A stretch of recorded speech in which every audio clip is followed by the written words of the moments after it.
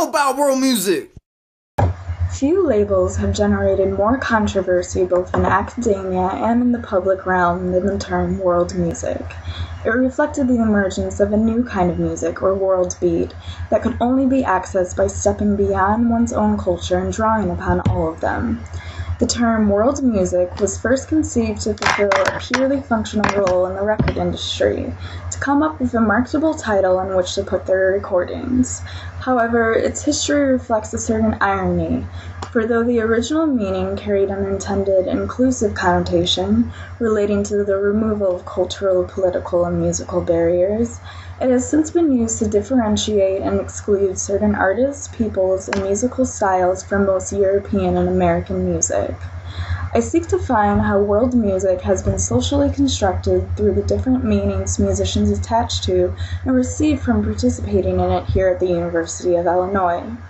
Has it influenced the original perception of inclusion, encouraging the breaking down of musical and cultural barriers, or has it built up the perception of an exclusive barrier, one that articulates the musical other?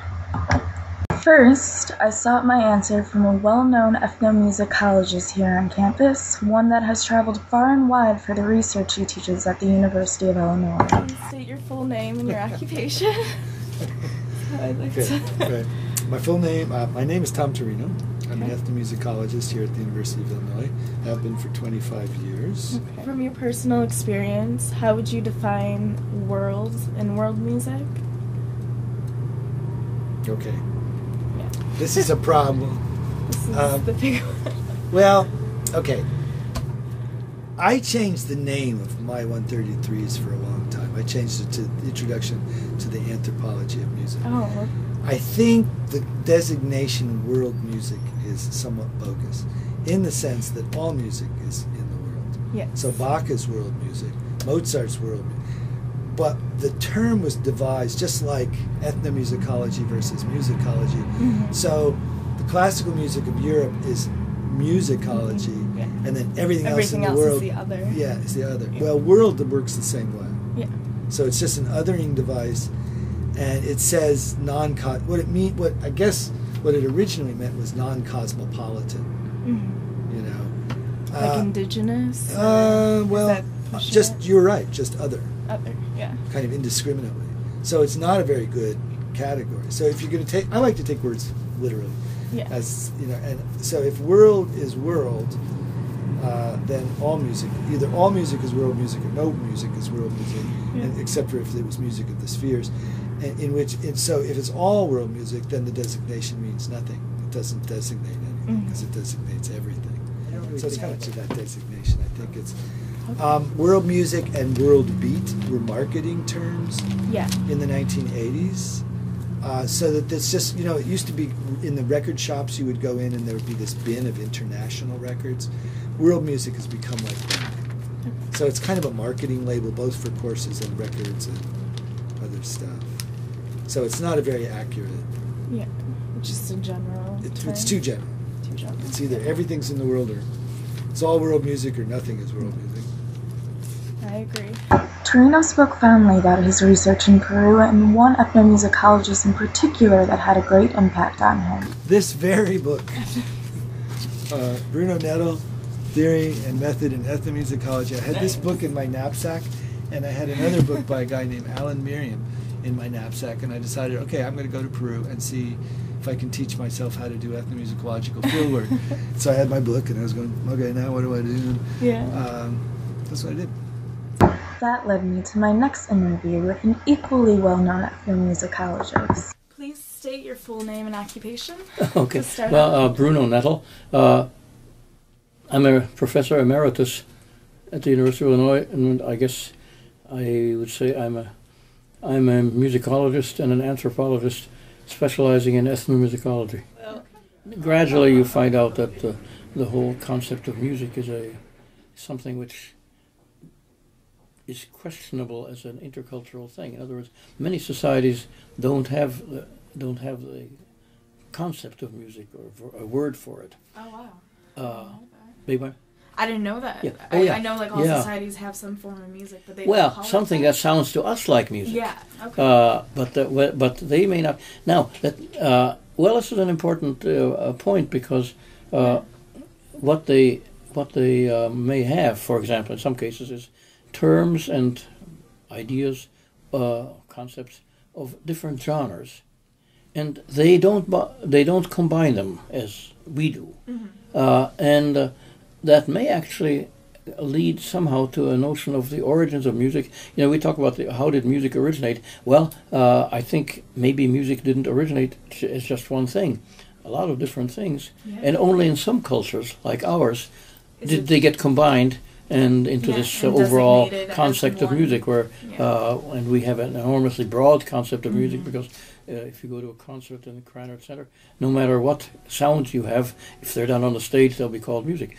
Yeah, that's true. No matter. You know, in other words, it's, it's performing. not it's not that y- you can't tell music from the way it sounds. You can tell it only from the social context. Yeah. yeah. From your personal experience, um, how would you define world and world music? World, Like uh, from the terminology of world music, how it's like become this encompassing, like Well, how like much as you were saying, like you put something on a stage and we call it music. oh, well, oh, I see. Well, I don't know. Oh, how do you feel about that term? You mean world music as in, in the, the the popular music style called world, music? music yeah. Oh, I don't know. I don't know anything about that. Uh, it's it's uh, what it, what it usually. Well, I think what it usually amounts to is uh, is some kind of fusions of different musics. Yeah, Uh, definitely.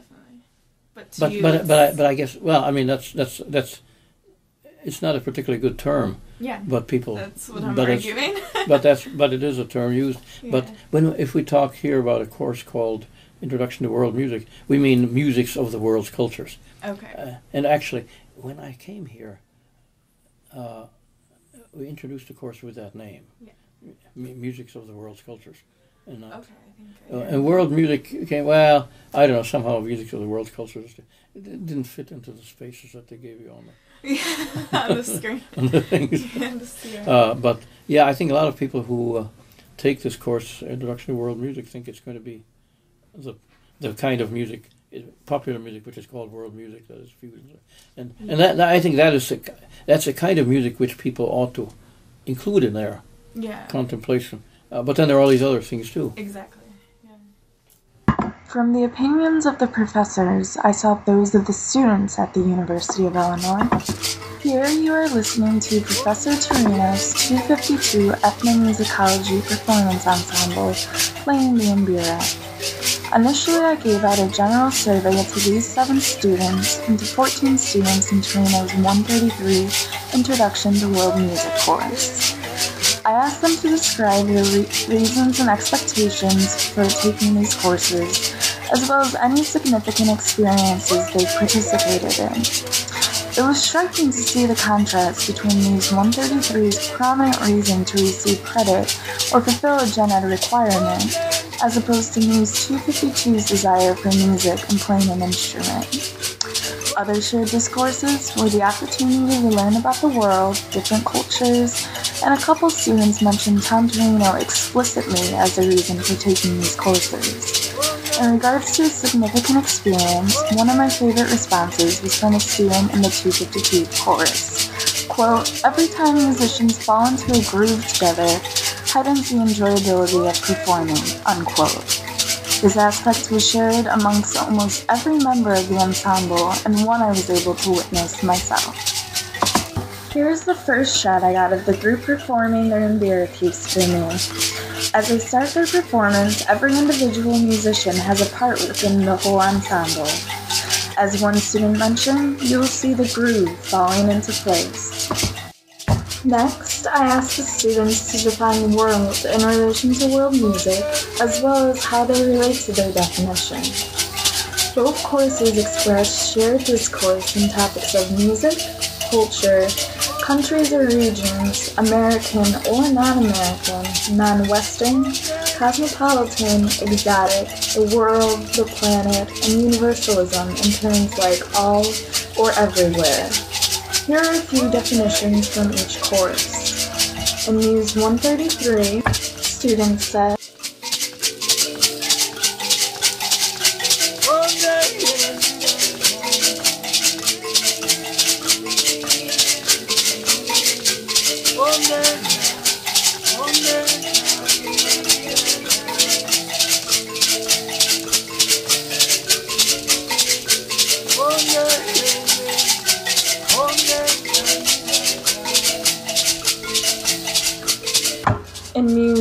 152 students are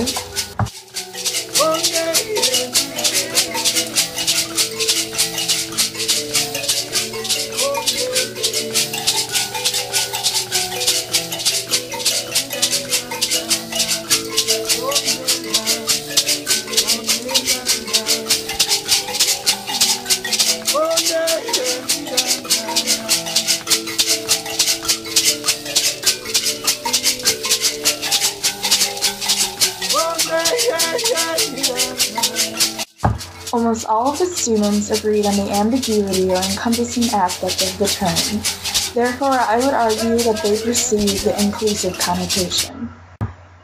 Last but not least, I conducted a focus group with these three individuals who have participated in either Tom Termino's Muse 133 or Muse 252 course. Can you guys go around and say your name and what world music course you were in? My name is James Hathaway. I took World Music 133. Sweet. I'm Claire Johnson. I took Music 133 and I'm in the Mbira Ensemble, which is Music 252 or something. Cool. My name's Randy Potkin. I took Music 133 also. Do you guys think of world music where in the world do you like index to or locate it? Can you point to? This whole thing. Everything else? So everything like including Europe or not America? No, not. or- yeah, I don't think about Europe or Russia really. Same. That doesn't come. I, I think of Europe as new wave. Um, anything new that we get musically in the West is mainly from Europe. Um, anything that you associate with old culture, I mean, you are going to associate with most likely Africa, India, That's a really interesting question, Um, actually. Yeah. That's very pretty- telling. and South America for a couple of us, you know? I mean, Yeah, definitely. not so much Australia. Nobody really thinks of Australia. Yeah, Music. did you? Yeah. Wow. Yeah. Yeah, I like completely agree. Basically, I think of like Africa, South America, and India, Uh huh. and I feel like it's because they're culturally so different. Yeah. So I Uh-huh. think of like their different music. Yeah. Europe, Europe, Australia. You know, like these, these places. Like, yeah, westernized Wow. countries. Not this place so much. I don't even know what goes on in Russia, really. Neither do I. But it's weird though. Like there's this folk dancing community on campus, and like they Mhm. do a lot of Eastern European folk dances, and like there there's certain types of music that go along with that, and like so that's also a really deep tradition. But Yeah. I I, don't I'm think about that as. I'm part most of- curious to see what music's gonna come out of Antarctica.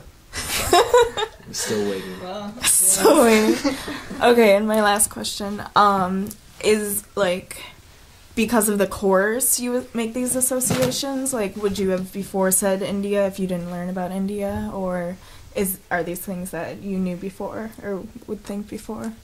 These are probably things that the course helped embed in my brain. Okay. Yeah, Definitely. for sure. Um, yeah, it gives you a whole different feel for the map, I suppose. Yeah. yeah, yeah, that's true for me too. Yeah. I think I thought of it in terms of that location before, but now I know a lot more about like the music itself and actually just like a lot about the like culture in different countries. Yeah. Definitely. Now everybody put your hands on the world. My research shows that the term world music is problematic for the students and faculty at the University of Illinois in that it is very ambiguous. They seem to favor the more inclusive connotation, while it is largely the music industry, more so than the musicians themselves, that follow any exclusive distinction. And what this distinction fails to properly acknowledge is that the otherness is not a fixed category, but shifting relative to individual perspectives. As for the perspectives on this campus, it seems to be a meaningless term. Oh, this is kind of a cool thing. This is a water whistle jar. so if I put water in here and you, you, you spill it, you t- tilt it this way, this, this vessel fills up, forces the air out through a whistle, and it, it. That's cool. That's an old Andean instrument. And then these are the Andean flute. This is the kena, notched flute.